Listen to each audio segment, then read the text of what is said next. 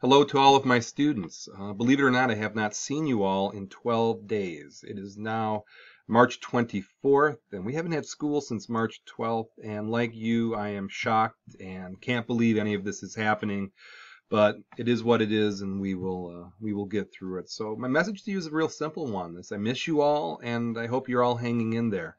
And um, I understand how difficult it is, uh, whether it's the anxiety of getting the sickness itself, or it's the alleviation of boredom during these very long days, or whether it's having you assume adult roles while the adults go off and work and you care for younger siblings and relatives. I know we are all going through a lot, and I'm just hoping that you're hanging in there and you're staying strong, you're staying resilient, and um, all those good things. So I'm inviting you to keep in touch with me. I'd love to hear from you, whether for academic reasons, non academic reasons, both.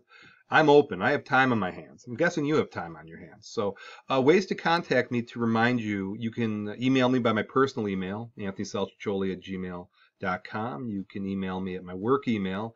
I think most of you have that saved uh, when you've sent me stuff throughout the year. You can get in touch with me on Twitter at SauceWH or at CVHS Philosophy, either or. If you're feeling a little academic, to remind you, if you were in my philosophy class, I should say are in my philosophy class. That's more optimistic. Were is more pessimistic. If you are in my philosophy class, we left off on lesson 21 in ethics. And if you are in my history class, uh, we left off on day 111, the French Revolution. So please keep in touch. I would love to hear from you. It does not have to be heavy duty. It does not have to be academic. It can. So uh, let's all support each other. Let's hang in there. And I would love to hear from you. And I'm going to say this here. Here's more optimism. I'm going to make today and every day a great day to be a Clarenceville Trojan.